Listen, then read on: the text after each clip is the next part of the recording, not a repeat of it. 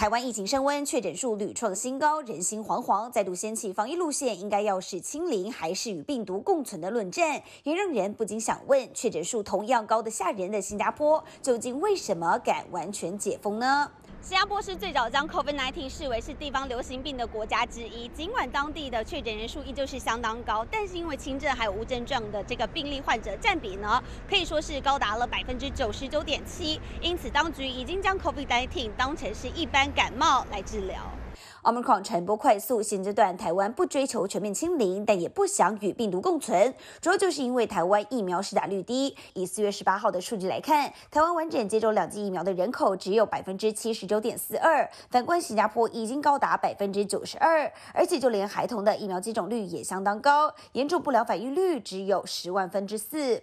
我刚才打了第一剂的疫苗。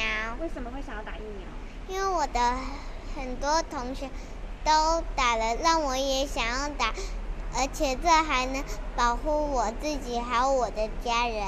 新加坡针对新冠肺炎的确诊治疗也已经形成完善的 SOP，确诊民众不再需要透过政府传送狂烈简讯，自己就能通知有密切接触的人，而且身体不适只需要到诊所看诊，再按照医师建议执行居家康复或是入院治疗。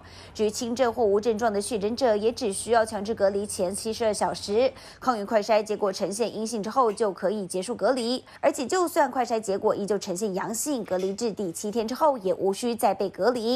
至于被政府框列的密集接触者，只需要五天之内自行做快筛，结果呈现阴性，就能正常生活，无需隔离。你得过 COVID 吗？得过啊，我的症状会比较轻微啦，只是它在我体内就拉得很长，我差不多是在房间隔离了差不多十一天。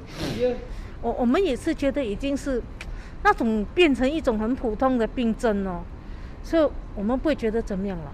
您有得过 COVID 吗？有啊，超严重，一直发烧。医生给的就是退烧药、咳嗽药水，就是这几样东西。其实说现在全世界都是这样子，如果是整个国家都种完了，那么是大家都好了。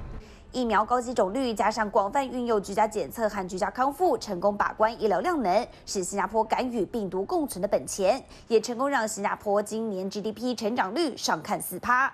或许台湾可以借鉴新加坡，将危机化为转机。以上就是华语新闻特派记者门佑成在新加坡的采访报道。从铜板市民经济到国际贸易布局，看见新东协节目，感谢您长期的支持。